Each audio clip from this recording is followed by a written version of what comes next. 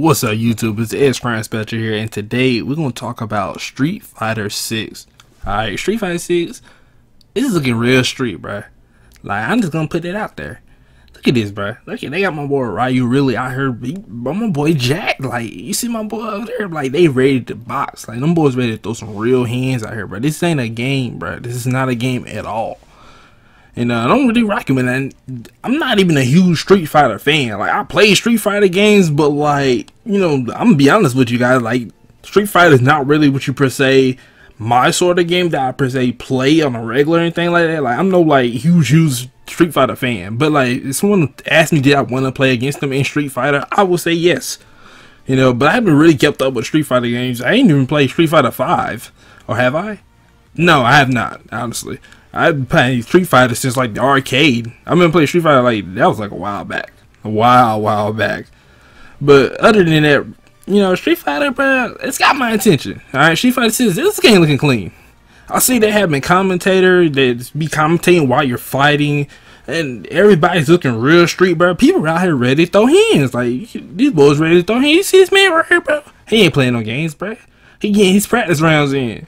That boy ready to break some reels. I like the energy. I'm rocking with it. Street Fighter is looking more and more like a must-have, bro. And I can't believe I'm honestly saying it. And it's not a bad thing or anything. It's just I never really thought about Street Fighter. It's one of those games I saw like, oh, Street Fighter 5, I saw a trailer like, oh, this is a cool looking game. But I was like, eh, it's not really for me though. I was like, good for the Street Fighter fans though. And I just kind of like let it pass me. But for this, I don't think I want to let this one pass me, bro. Like, this, this, this is a little lit, bro. I'm not gonna lie. This game looks real fun. This game looks really just there. Like you know, they got that real street aesthetic, and I'm really, I'm really feeling it. I'm like, I like it.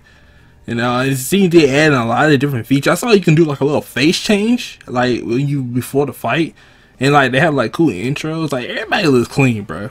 My boy Ryu got a whole beard, bro. I don't know how long he's had that now. I ain't really been keeping up with him lately, but I ain't even know bro had a beard, bro. Like uh, my boy, like look at that, bro. That boy don't got up with the times. No more games, bro. Everybody ready to shoot some real hands, bro. But I don't know. I don't even know what to say to add to a Street Fighter game, honestly. This is I just wanted to talk about Street Fighter 6, honestly. And I'm really liking it.